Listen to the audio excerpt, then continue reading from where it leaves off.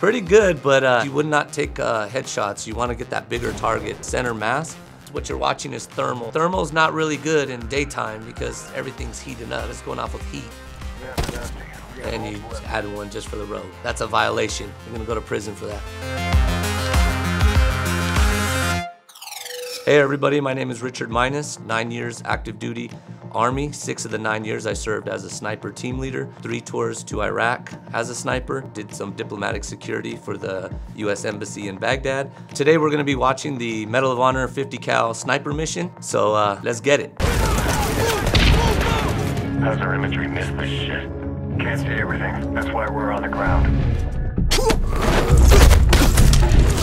Wow, man, this is pretty interesting. First time I watched some video games, and uh, wow, it's pretty real. It's going down. So the secondary mission of a sniper is to collect and report battlefield information, and so that's what he's doing right now. He's just reporting to higher, letting them know what's going on as far as enemy combatants on the ground. We got three fighters. Primitive camp. His spotter's gonna shoot a laser and, and uh, figure out the range of the targets. Try to figure out which way the wind is blowing so he can make uh, windage adjustments for the shooter. So he's gonna be calling saying, hey, he's at this range, this uh, windage. So he's gonna continue sweeping, but again, he's gotta figure out the range. He's gotta figure out windage. It's not easy um, unless he did his homework before, which is a range card. You would fill it out, draw, and uh, find your key points on the map and in front of you, and you would put the windage and uh, distance beforehand. So when you see your targets, you can acquire multiple targets and engage quickly. You're gonna dial in as the shooter. All you're doing is just waiting for word from your spotter. You're not doing anything else but focusing on your target. Spotter controls everything. He's the team leader, he's in charge. These guys are guerrilla fighters, so they want to stay alive. They're not even going to use fire, or they're going to be in a cave when they're using fire. They're not going to be out in the open, letting them know, hey guys, I'm over here. No, uh, you're in a combat zone. You gotta stay low, stay out of sight because we have the overwhelming firepower. They don't, so they have to fight that guerrilla style to be able to survive. Pretty, pretty good, but uh, headshots, you would not take uh, headshots. You want to get that bigger target, the uh, center mass. But these guys aren't really responding. They're kind of just lying low, which is typically what they would do. Anyways, you would just hit the ground and try to take cover because you don't know where the fire is coming from, so you can't really react on it. But he's doing exactly what our primary uh, mission of a sniper is to uh, deliver long-range precision rifle fire on key targets, select targets, and targets of opportunity, which he's getting right now, the targets of opportunity. And all headshots, pretty, pretty amazing. That's pretty inaccurate, but stay away from those headshots. You'll be a lot more accurate. When, when you're searching and, and sweeping areas for targets, you're looking for uh, things that stand out. Could be movement. Movement gives it away every time. Your eyes drawn to movement. Some like flickering if uh, something's flashing, maybe a belt buckle or something shiny. Bodies, human beings, we're constantly moving. We're twitching, we're moving around every little second. So it makes it really hard to fire. You can't, you gotta zero in on it and you gotta kind of judge their movement, how they're gonna move so that you can lead them into that shot.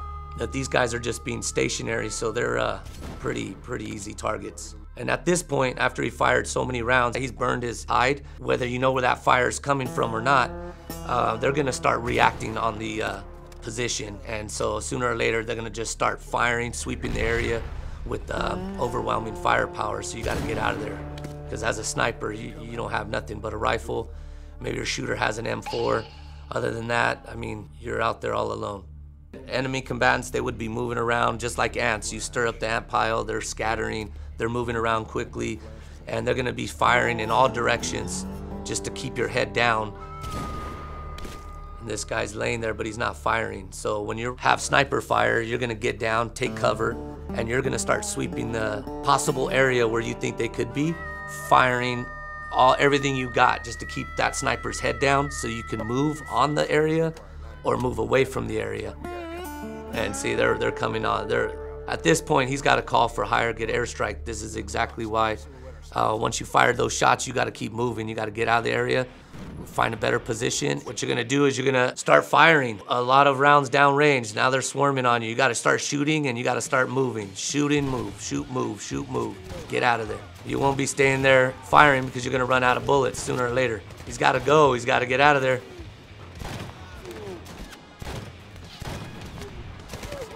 He's gonna start getting hit. So there he is. He now in a handgun. That might as well be throwing rocks at him.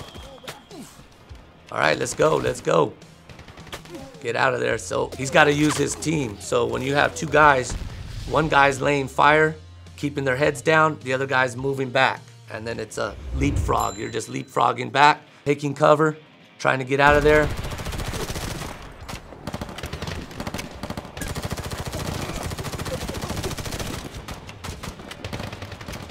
Yeah, at this point, he's, he's doing pretty good. He's, he's taking cover, he's popping shots and moving back in cover.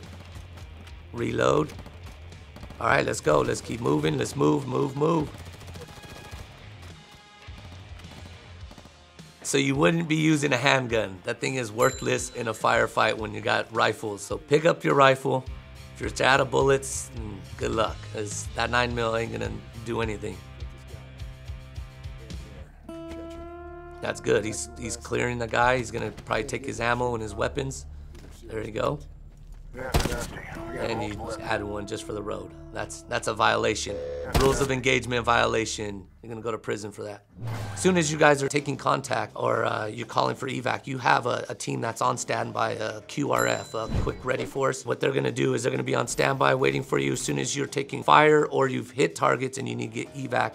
They're responding on there. They know exactly where you're at how to find you. You're gonna pop smoke. They're gonna lay down fire. They're gonna land a bird and get you out of there. So you have a couple of minutes. This is pretty real. I mean, there's gonna be people laying there crying, yelling, and moving around still. You gotta just keep it moving. Getting, they're they're trying to seek higher ground right now, so they can get the advantage with the firepower. But yeah, you're not gonna engage that group because they're gonna just tear you apart. So those guys would have seen you. Three, two, one, All right, that's that's smart. Grenade, hey. It's pretty good. You guys are going good. Doing really good with that. All right, now you got to move. Shoot and move. You got to keep moving. Always keep moving. You're a small team. You, you don't have much firepower. You can't fight a, a big force, so you got to keep it moving. You would be getting tired, especially humping the uh, Barrett 50 cal around. I carried that quite a bit it weighs a lot and the rounds weigh even more. You know, when you're having multiple magazines of Barrett uh, ammo, I mean, it's, it's weighing you down. So you definitely would be getting tired, kind of want to scrap the Barrett at that point because you can't fire it from the hip, so it's kind of worthless on the move. I would have junked it at that point. All right, so he's going up there. He's, he's doing pretty well. They're, they're getting that high ground.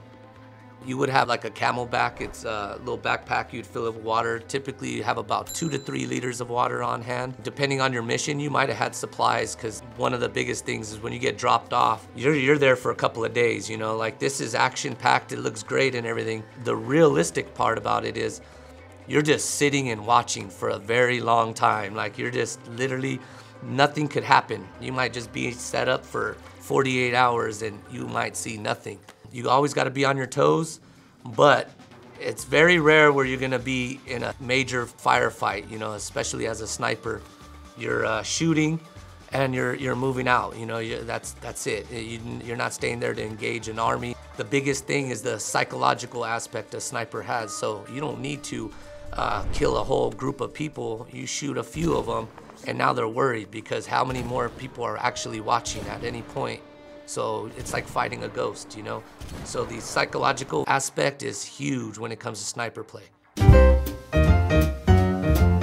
When you go on these sniper missions, real big portion about being a sniper is being disciplined. You will be set up for 48 hours, sitting, watching one sector of fire, just one picture, and you gotta stay attentive to every little piece of information you're gonna see. So what we would do as a sniper team is you would take shifts. So you'd watch maybe 30 to 45 minutes. The other guy, he's gonna be relaxing. He's gonna be keeping his mind right. and then he's going back on the gun. You're switching out that whole time. In sniper school, we had to learn about, uh, it's called Kim's game. Well, you set up 10 objects, just random objects on a table, and you just keep walking around and you got one minute and you gotta look at all those pieces, what's on the table, and try to remember their size, their colors, their shapes, what they appear to be, what you think they may be. And then at that point, they take us out of the room and then they'll torture us basically, like making us do push-ups, sit-ups, and rolling in the mud, and do a lot of exercise to stress you out, stress your mind out. And uh, later on in the day, they would give us a piece of paper, and we had you know two minutes to fill out what those objects were. So you had to be accurate. You had to know those sizes and those shapes, and it's a practice. As you practice, you get better, sharper, and you start to learn and relay information a lot better. So the uh, guy that came up with that memory system is Rudyard uh, Kipling. He wrote the Jungle Book. It's really good to teach yourself how to identify things and how to be uh, detailed in your information. Physical conditioning is, is key. You know, it has to do with your confidence. You're gonna be confident. You're gonna be ready to tackle anything. And so now they're delivering those airstrikes that they called in and they're clearing the, the uh, objective so that they can land the uh, birds in there safely so nobody else is at risk he needs to put that gun away, you know, so stop uh, flagging his uh, battle buddy there. Last man's always got to be checking the rear, checking the six, see what's going on. And so he, I don't know how he carried that thing up the hill, but uh, he did. You know, you're, you're, carrying a pack of, of ammo, it's easily 50 pounds just in, in ammo alone. Honestly, in my missions, we would just carry like three magazines, which is about eight rounds a piece because you wouldn't be firing more than that. As soon as you fire a couple of shots, you've made your point. Now it's time to move out. Yep, I would be just let the birds just sweep and clear that clear that area, because you're gonna get more damage. It's gonna cause more than your rifle fire. What you're watching is thermal. Thermal's not really good in daytime because everything's heating up. It's going off of, of heat. So you know if the if the day's hot, things are gonna be glowing. You, you would mainly use thermal at night. When you're firing with the Barrett, one of the things you got to know is that the, the kick of the weapon is not um, really bad. I mean, the M4 has a, a much more uh, kick than a, a, Barrett does, but the concussion of the round firing, because it's a big round going down range, is what rings your bell. So firing it multiple rounds, like literally your nose will start running, your ears are ringing even with earplugs in. I blew out my ear just firing it in a, um, a confined space. I was deaf out of my ear for a week and I had earplugs in just because of the concussion. It just, you know, compounds. So you never fire a, a Barrett 50 cal in a confined position, in a bunker, in a really closed, uh, enclosed space. The fire is not gonna be that accurate at all. You know what I mean? So when there's multiple targets moving quickly, you gotta get out of there because, you know, it takes time to deliver that fire on, on the objective. That angle is uh, gonna change your, your fire. You know, that round, it arcs, it shoots high. So if you're going up, you're gonna shoot a lot higher. The scope on that, there would be some mil dots. Uh, you would use the mil dots as they help uh, figure range or utilize Kentucky windage. Also in sniper world, it's called hold off. And headshots, man, that's that's too fake right there, man. He's not gonna be shooting headshots at these guys. He's not gonna be even hanging out and engaging at this point, but they're doing pretty good. They've got the high ground, they got cover, they're moving around you know, it's a little half and half when it comes to the realism. So guys, it's been like, honestly, about 15 years since I played video games or even really looked at them and considered them. But wow, they've come a long way. It's, it's pretty real. It, it's, you gotta teach me how to play. Hey everybody, thank you for watching. My name is Richard Maynes, and for more videos like this, be sure to check out Gamology on YouTube and Facebook. So uh, no, I'm, I'm just trying to figure it out because yeah, it's different um, as far as hitting targets with that. Awesome. I'm gonna run out. Yeah, you really are.